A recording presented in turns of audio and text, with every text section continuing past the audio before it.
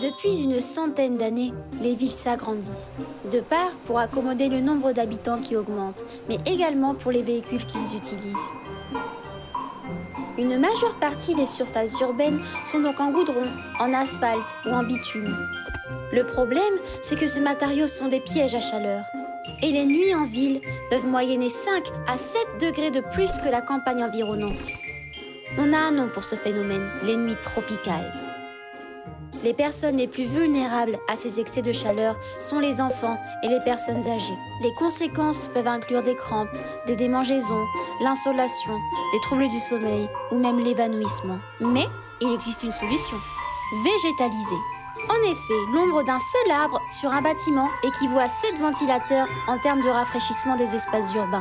Ainsi, boiser les villes paraît être une bien meilleure solution à moyen et long terme.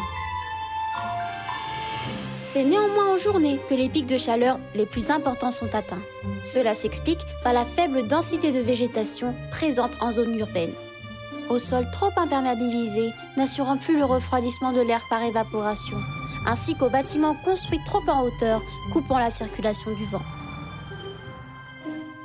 Entre les zones rurales et les centres-villes, l'écart de température est en moyenne de 3 degrés.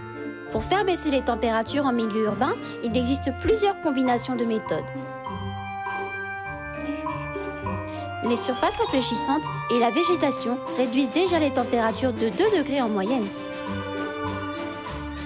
La présence d'eau en mouvement aide à capter la chaleur et rafraîchit grâce à l'évaporation. En ajoutant de l'ombre, on arrive à une réduction moyenne de 3 degrés et en combinant ces quatre méthodes, on obtient une perte de 3,5 degrés en moyenne et 5,5 degrés dans les meilleures conditions. En conclusion, les villes disposent de diverses solutions prometteuses pour transformer nos environnements urbains en havres de fraîcheur et de biodiversité. La végétalisation urbaine représente une voie lumineuse vers un avenir durable et harmonieux, pour mieux vivre ensemble dans un monde plus vert.